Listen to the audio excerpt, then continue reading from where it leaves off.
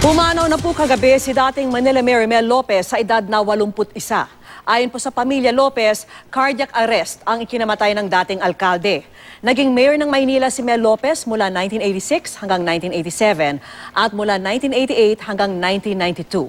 Nagsilbi rin siyang bilang assemblyman ng Batasang Pambansa mula 1984 hanggang 1986.